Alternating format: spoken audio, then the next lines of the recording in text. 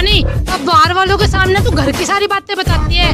अगर तुमने आज के बाद किसी के सामने मेरी बुराई करी ना, मैं तेरे से काम कराती हूँ तो तू अपना मैं तेरा क्या हाल करूँगी?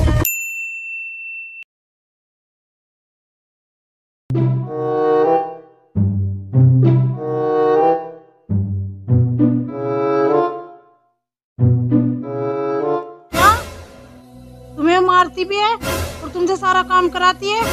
हाँ मुझसे ही सारा काम कराती है। तो तुम अपने पापा को क्यों नहीं बताते? माँ बोलती है अगर मैंने पापा को बता दिया वो मुझसे जान से मार देगी।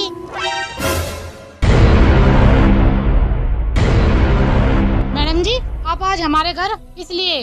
वो ना मैं गोरी के एडमिशन के लिए आई थी और मुझे तो यहाँ की कुछ और ही बात पता चली। आप अपनी बेटी पर अत्याचार करती हो उसे सारा काम कराती हो? आपको किसी ने बताया मैडम जी? मुझे ये गोरी नहीं बताया मैडम जी मैं ना बीमार हो गई थी तो गोरी को इस वजह से घर का थोड़ा सा काम करना पड़ा। क्यों गोरी बेटा? बहुत मरूँगी ध्यान रखिए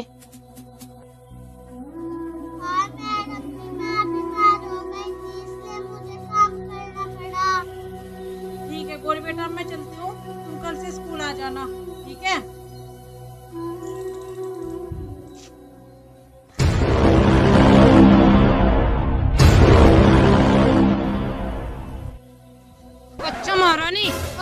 वालों के सामने तू घर की सारी बातें बताती है।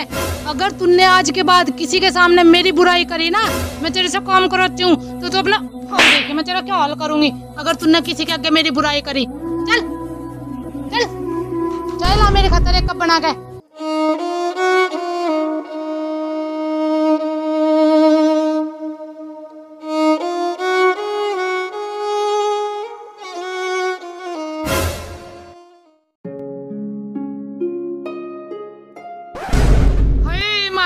महारानी फूक दिए मेरे तो पैर साड़ी का भी नाश कर दिया तुझे भी बताती हूँ। रुचि!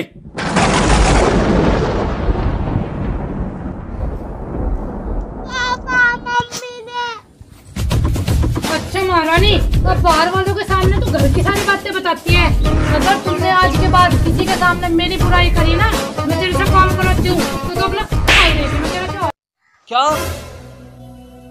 इतना कुछ जुलम हुआ तेरे साथ? क्या हुआ जी? तू मेरे पीछे मेरी बेटी पे अत्याचार करती रही और उसकी डराती दी और मुझे कुछ ना बताए? तुझे शर्म नहीं आई? ऐसी होती है माँ। बता तुझे भगवान ने क्यों नहीं बच्चे दिए? इसीलिए तुझे बाँध रखा। क्योंकि तो दूसरों के बच्चों से प्यार नहीं करती। भगवान भी उसी को बच्चे देते हैं जो दूसरों के बच्चों से प्यार करे। और इससे पहले मैं पुलिस को बुलाऊं। निकल जा मेरे घर से। मुझे माफ़ कर दो जी मेरी माफ़ी गलती हो गई माफ़ी के लिए बच्चे ही क्या है? निकल जा मेरे घर से बस।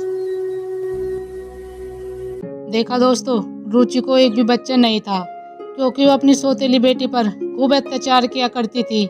इसीलिए उसको बांझ रहना पड़ रहा था। अगर आप अपनी गोद में भी बच्चा देखना चाहते हो तो दूसरों के बच्चों से प्यार करना सीखो। अगर आपको मेरी वीडियो पसंद आई हो तो प्लीज़ मेरी वीडियो को लाइक, शेयर ज़रूर करना। नमस्कार।